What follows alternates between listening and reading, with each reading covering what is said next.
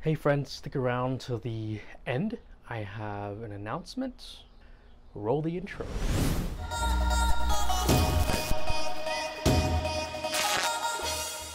So, as I mentioned in my last video, I kind of wanted to do a condensed history of Native representation throughout the Western world, particularly here in North America, United States. That's from my perspective because I'm American. So, in order to talk about where we are now, we need to contextualize the past and we need to go to the beginning so that we can see the patterns that have developed throughout the Western world. Without further ado, let's start at the beginning with literature. And if you don't think chimps will steal babies and eat them, you haven't been paying attention to the literature. That's Yeah, right, sir. I, I haven't Yeah. been paying attention. So to go kind of at the beginnings, there's usually one era of you know, European and native contact that doesn't get talked about much, and that's with the Norse.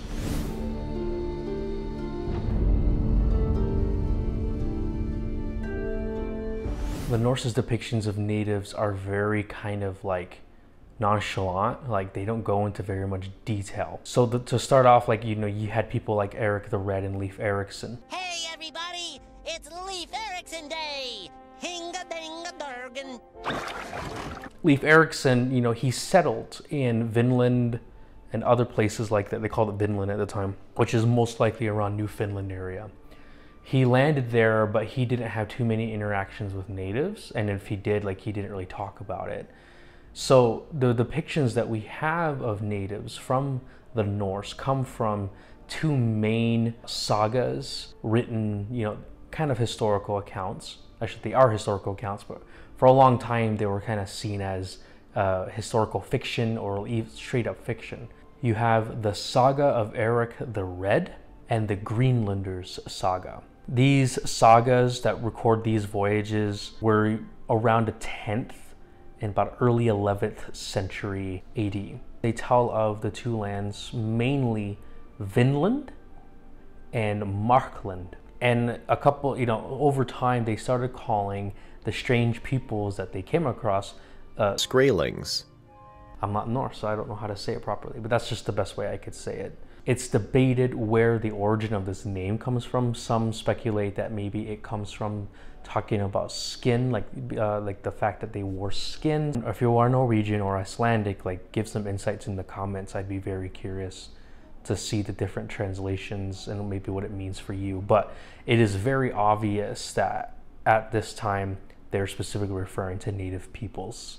Now, who these people are, it's unclear. The two prominent types of native peoples that they most likely came across were probably Inuit folk, uh, who later actually started inhabiting Greenland around the 15th century, but they potentially probably ran across them there, or most likely Algonquin speaking tribes, maybe Micmac, potentially Haudenosaunee, who knows? We don't know for sure. In the Eric the Red saga, we have a first-hand account by a man named Thorfinn Karsfeni, but that's I'm totally butchering it. Like it's probably not accurate at all. Uh, this guy, he traveled along with Eric the Red in his voyages, and he has some interesting depictions in the saga of Eric the Red of the native people that they came across. And it's really funny to read it. They're kind of just like, oh, we came across them. Oh, then we killed them, or they attacked us. It's really funny. It's just like, it's not. It doesn't have a lot of drama to it. it's just like, oh yeah, it happened. It's very much like cut and dry historical. This is what happened. So here is um, Thorfinn Karsfeni's depiction or a description of the natives they ran across, and it's rather fascinating.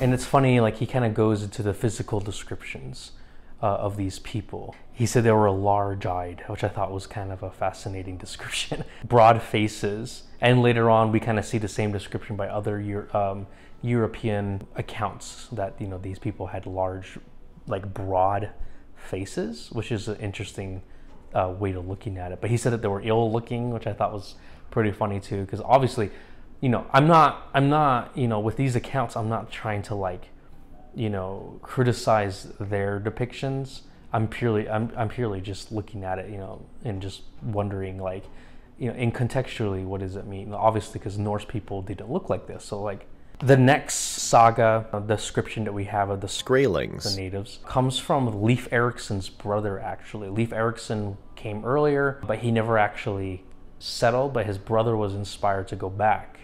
And in, in this case, uh, his brother, who is Thorvald Eriksson, he actually had contacts with natives and he traded and fought with quite a few. He doesn't really describe them really, he just kind of talks about his experience with them and it was obviously very hostile. Uh, Thorvald was, you know, he was wounded by Skraelings. attack uh, after they had kidnapped a few of uh, killing people and killed a couple. So it was obviously, you know, the, the natives were kind of going after, you know, going out for blood because they did this. And he was shot underneath uh, with an arrow.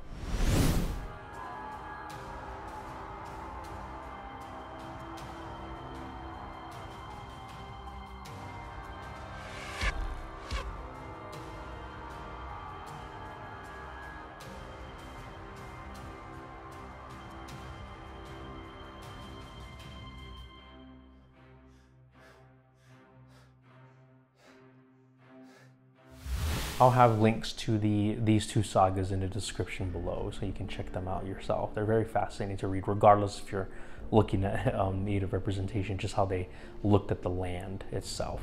So uh, one thing to note that is is fascinating too is that Christianity has been introduced to the Norse by this point already. However, you you can imagine that for a people where Christianity is still new, that a lot of the old beasts and the old gods and all of the old things from their culture are still relevant in their minds.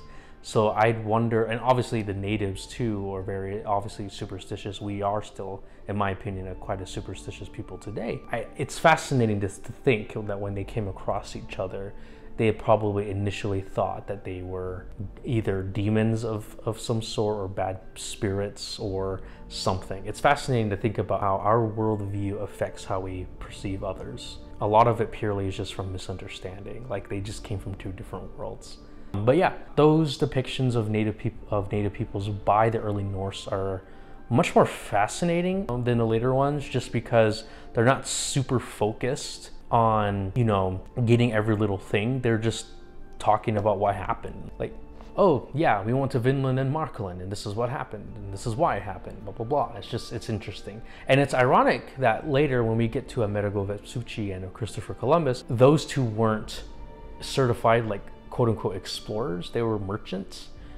When as uh, Leif Erikson and Eric the Red and uh, Thorfinn Kosfeni and Thorvald Eriksson, they were all legitimately explorers. Like they went exploring for the sake of exploring and looking for new land and everything. And uh, it's fascinating that their depictions are just like less descriptive when merchants were very descriptive later.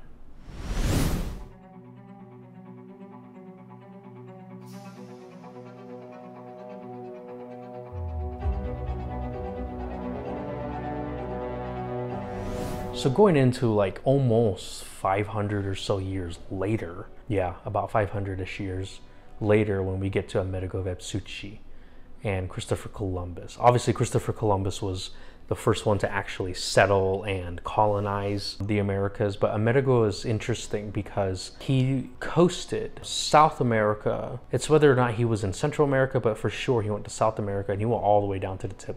And his descriptions that he has they aren't we don't know for sure like which people he's talking about in particular. We just don't know. Between 1497 and 1504 that era there were two famous writings that were that came out from him. One of them was from his own words. That one was called mundus novus which is the new world. That came out in 1503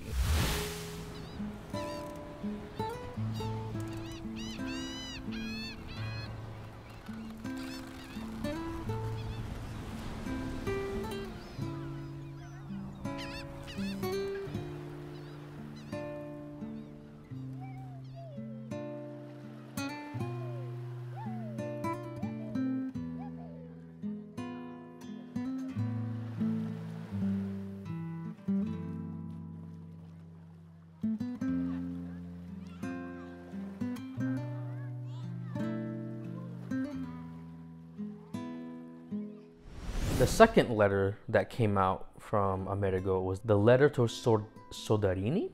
I think that's how you say it. That was arguably not written exclusively by him. Some scholars theorize and speculate based on how it's written and everything that it was written by someone else. But this letter, it was also very popular popularized in describing, you know, the, the new world.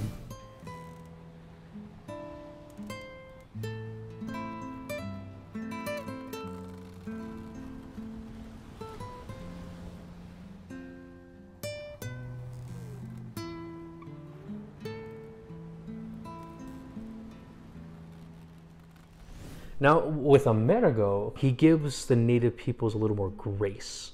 And of course, you know, Amerigo is still very, you know, coming from his European lens, right? So obviously his depictions are going to be a little backhanded, uh, slightly condescending. But when you compare it to Christopher Columbus, it is so much more fascinating. he, uh, I would argue Amerigo was actually fascinated with these people looking back at Columbus, again, like you can read so much about what he's done and everything, but his depictions are certainly a lot more harsh compared to Amerigo Vespucci's. And I think it's because he comes from the idea of utilization. He wants to see more how the land and the people can be uh, used for colonization.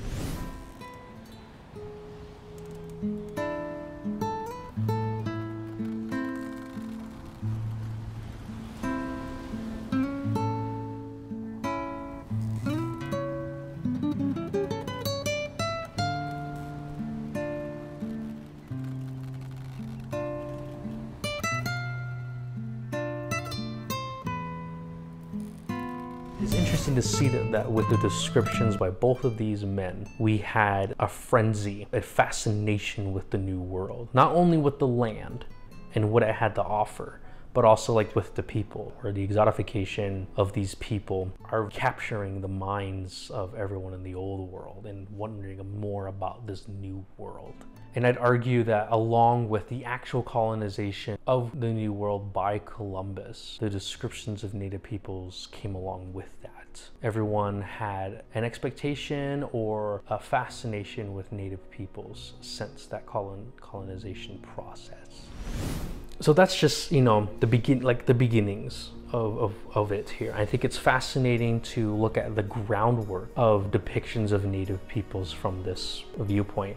The Norse depictions don't have too much effect on how native peoples are viewed today in particular, but it's still fascinating to look at because back in the old world, no one really knew too much about the people in Vinland just the people who wrote about it. It was more of, I I would love to do more research and see whether or not if it had a, as much imagine struck the imagination of people in the old world as much as Columbus's and Vespucci's descriptions did for people, you know, 500 years later. But I, that's just one little bit here I wanted to touch on. The next video, I'm going to be talking more about liter- the literature, fictional mostly, throughout the colonized America uh, going all the way from like the late 1600s all the way until the late 1920s.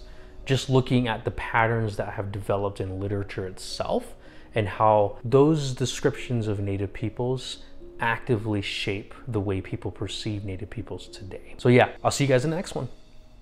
Okay, so like I said, there was kind of like an announcement of sorts. I realized that the name of this channel is a little too niche, and a lot of people don't understand why I called it Kino Native. So from here on out, I'm just gonna change it to Native Media Theory. Um, I feel like that's a lot more straightforward, it's a lot more easy to remember. Kino Native is very niche. I might use the word Kino Native as like a noun, but yeah, for now on, we are going to be Native Media Theory.